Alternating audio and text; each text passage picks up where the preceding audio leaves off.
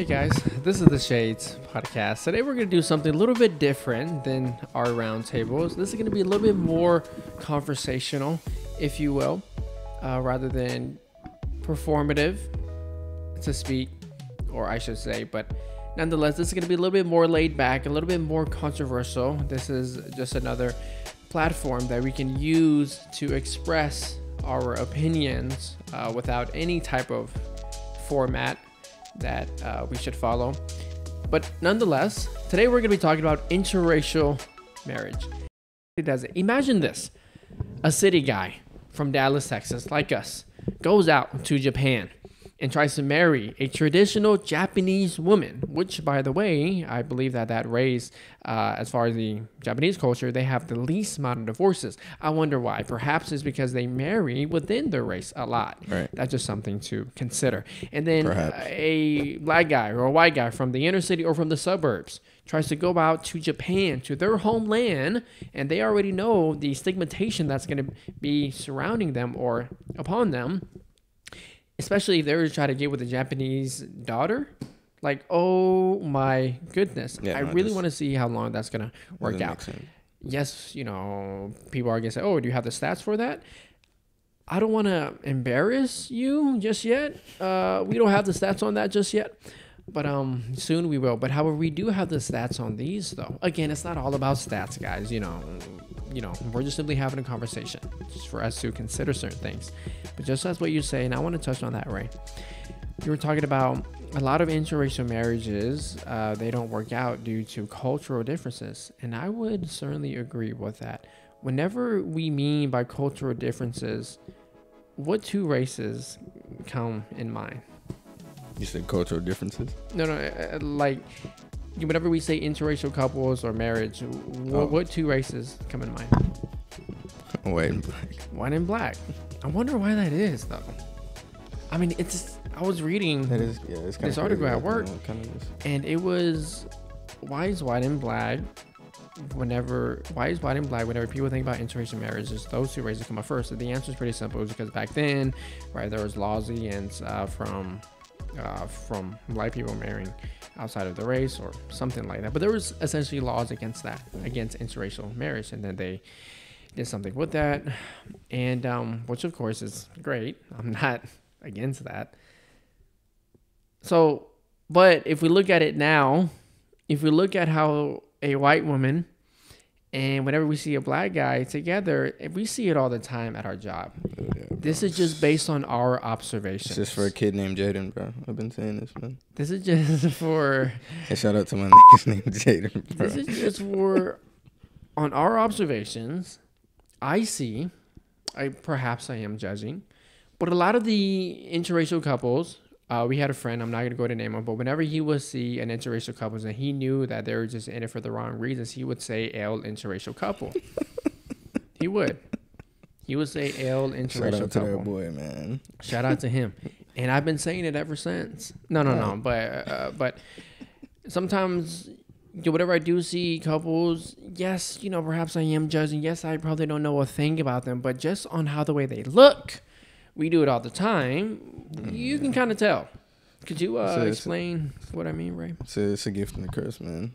But explain what would you? um, how one could think that oh they're in it for the wrong reasons they're in it for bad reasons regarding black and black and white couples. Like, how could we tell from the outside, or yes we- like let's say they come into let's say they're walking at the mall you know what let me cut to the chase okay for example i was at the state fair and uh, i you know, men, we do judge on how the way a woman dresses, okay, but let's say the man is fine with that. Okay. Now, typically on how the way a woman dresses, they do present themselves as single oh, or okay, not we single. can tell from outside. okay. Right. So understanding your question. typically, the woman, and this is true, we have to agree on this. Typically, the woman who dress extremely sensual, they are not traditional women. Um, they probably have STDs. They probably have a lot of partners. That is typically the case. Yes, there are exceptions, but nonetheless, exceptions don't validate. I mean, don't invalidate the rule, right? So, all that being said, I would see a lot of white females Right. woman and they would dress in an extremely sensual way, right? It's all like, man, like.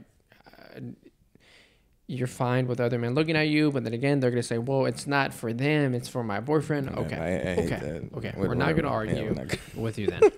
not, not yet. I'm not gonna go to that. Think man. that. Think that. However you want. And then I see the black man, tall.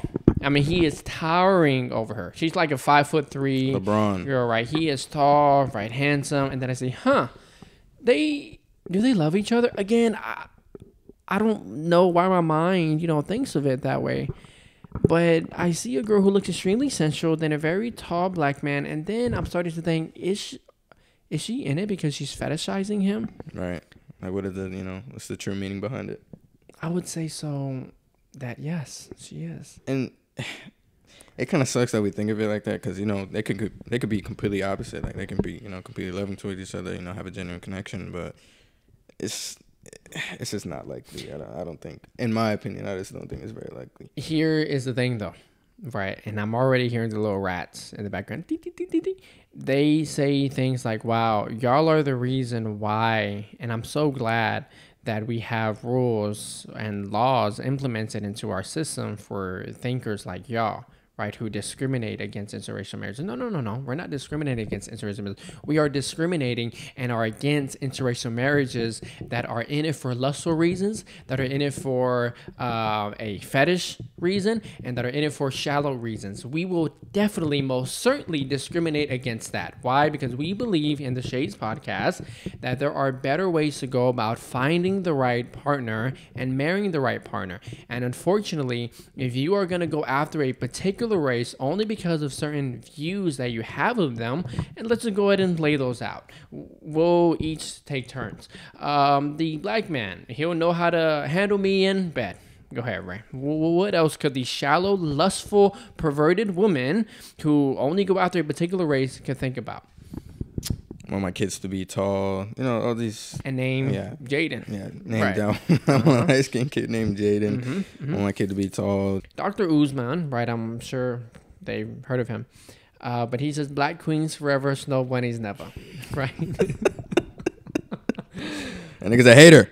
and I'm joking. I I understand. One of his arguments was this that uh, marriage, I don't fully agree with him. Um, but I, as far as the sole purpose, right? Because I think, I think this is me. I think that what if his primary reason why um, his argument against interracial marriage is because marriage it is an economic um, thing, right? And so I wouldn't say that I would say that the sole reason why interracial marriages come together, uh, at least in regards to why they fail, is because of shallow, lustful, perverted, fetishizing reasons. Um, but now I'm even starting to think perhaps it is an economic thing for the black man, right? And I was reading the article, and then bear with me here. I'm trying to make this fun as possible. Let's say me as me as an Hispanic, right? Born into poverty, um, born poor, and let's say I marry or I like this Hispanic girl, but she kind of grew up in a similar environment than me. So in my mind, I'm like, man, back to square one. Right. I, I don't want to do that. Oh man, this white girl likes me. What? Uh oh. You know what? Maybe I can upgrade in life. And the article, you know, was explaining how how um typically whenever um, how black men what they think in regards to not dating their own race is because you know they say no no no the woman right right the woman they don't want to date the black man uh, because they view them as though well he's not going to be financially stable he was in prison he got into a lot of trouble. And then they're only of course speaking in regards to the majority of the stats that black men have to endure and so the black men are like, all right, bet. So if the if my own kind doesn't want to uh, marry me, be with me, then let me go ahead and go with the woman who fetishizes me, right? Who likes my skin color, who thinks that I'm gonna go ahead and take control of her in bed, so that I can upgrade in life. It happens. It, it's a sad reality. It is what it is. Yeah, this is it's real shallow, you know. And uh, back to you know the the cultural thing of what you're you know touching on beforehand, of you you know saying that there might be you know you grew up in poverty and then you know a different Hispanic girl you know grew up the same way. What we're trying to get at is as, far as the culture thing, it's gonna be a lot harder for you to be accepted into the household if you were to, you know, I guess travel somewhere else or just go, you know, just you know, be with a girl that didn't grow up similar to you or just had the same environment. Like it's gonna be very hard, you know, certain things that you say, you know, or things that you know or said in her culture, she could you know take a different way, and then there's just Mm-hmm. it's a lot of explaining and communication, and then you know parents accepting you in the household, and then Right. you know you you always want to be on the good side with the parents, of course, but I know there are some situations where they're not, and and you know it, it sucks because Right. you know that's like their family, you know what I'm saying Mhm. At that point. So this is gonna be like a lot of, you know, I don't know the word, man. It's just a lot of like differences in Animosity. classes, Mhm. exactly. Mhm. Just within that's just. I don't know if it's worth all of that. I don't- I don't Yeah. I was just about to say that. Someone may say, "Well, our love is worth it." I will. I'm gonna go ahead and endure her her uh, Japanese family not liking my black family. and I really think a lot of it is just for looks too, man. Like especially Oh off rap, of course. Well, you have to be, I guess, semi attracted to someone just to approach them, but. You know, I don't really think people are really thinking about that in the back of their Right, head as they're not. doing it. It's like, oh, I'm just gonna find a beautiful girl and then we're just gonna get married. Right. Like, there's more that goes into it, of course. And then two, um, it's kind of like, imagine you were to bring home a white girl, okay, just Right. like white. Imagine your great great grandparents. They were like, "Damn, our bloodline is lost. Like, crap. Freaking Ray ruined. Like, that's it." And then his bloodlines are never gonna truly keep our African American culture, our beautiful culture. Of course, every single culture has its flaws, every single one of them. However, the moment you date someone that is not of your race, your culture is almost completely gone. Sure, you can go ahead and instill some of your cultural values into your kids, but she's also gonna go ahead and do the same way. So we are just also suggesting if you have an a tiny fraction of pride of where you come from, of your struggle, then I would go ahead and suggest for you not to go ahead and date outside of your race. Again, again, again. But if you f- love someone who is not of your race, then so be it. Then so be it. May God bless you and your marriage and all that stuff. I bet some people are are, are uh, saying, "Wow, or did he really just say God after you know they were saying all this stuff?" Right. F these guys. right. Uh, so me, I don't know. I um, it's kind of funny now that I'm saying all this, but I'm saying you know someone can say, okay, well, what race do you want to date? Again, I don't discriminate, but that's uh, what they're gonna be saying too. Why are y'all guys discriminating? Are we For being right hypocrites now- right now? For right now, yes, an Hispanic girl. An Hispanic girl because why? Because we understand where we're coming from. Uh, she understands that whenever I come home, right, you know, there needs to be some lemonade on the right of my plate and some um, fajitas and beans and all that stuff. You know, No rice and all good. she'll understand Yeah, that. of course. Then you, your wife, she's gonna understand that whenever Ray comes home, uh, there's a beer on. we're kidding, guys. Kidding.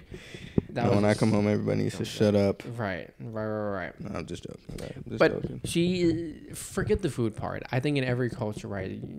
We don't want to go into gender roles right now, but as far as an Hispanic girl, she's gonna understand where I'm coming from. She's gonna understand um, that there's certain levels of disrespect as far as tone, as far as words, and that's gonna be different if. Uh, and then that's gonna be taken a different way as far as if I were to marry a black woman or a white girl, right? And I've kind of experienced it, and I don't know if you have, but whenever I would hear something that um, the girl who I was with, I would kind of like look, but I would have to remind myself, oh, she was brought up differently.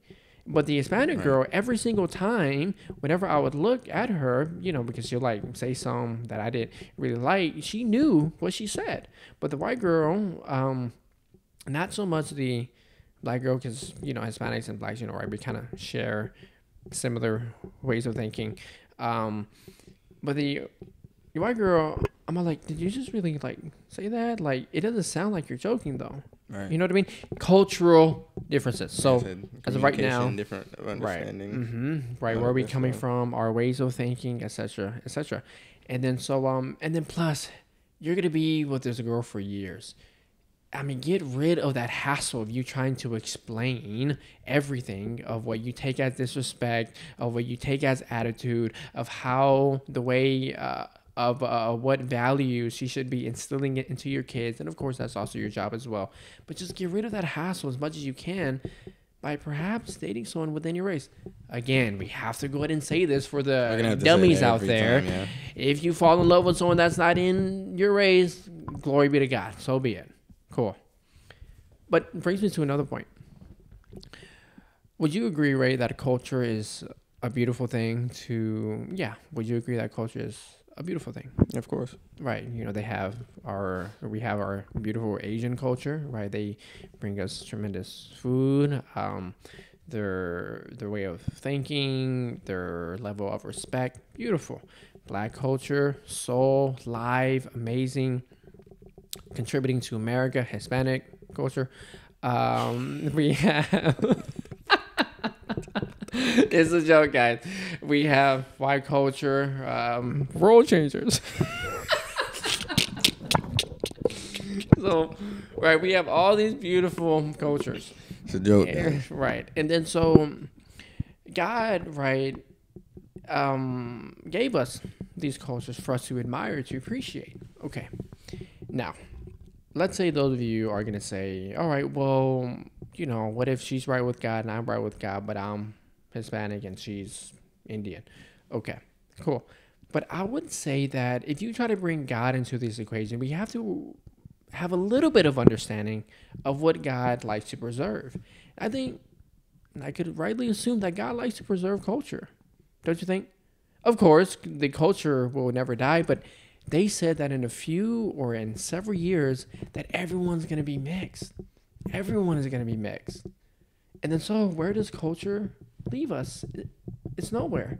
Well, I also you gotta think too. Is you know not everybody's nobody's pure anything. That's anymore. true. That's true. So it kind of makes sense. Like everything will you know you know differentiate and you know diverse. Everything will be diverse. So it makes sense. You know, you know, you're not fooled. You know that I'm not fooled. This, you know what I'm saying. So, the, it's just it's gonna spread out as well. Well, then know? maybe perhaps I shouldn't then rephrase it then try to preserve it as much as possible. Yeah, of course. Right, preserve it as much as possible then. And so if you're gonna go to bring God into the equation, say, okay, well, what if she's right with God and I'm right with God, but we're different cultures? Well, I would say that God likes to preserve uh, the culture that you're brought in as much as possible. And then some of you may be saying, well, my culture is gonna still um, live out, regardless who I marry. Now, what if everyone thought the same way? What if everyone thought the same way? Right. So again, if you want to bring God into this, we, you would have to understand yeah, so that, that hey, you know, God does like culture. He created them for a reason. Thank you.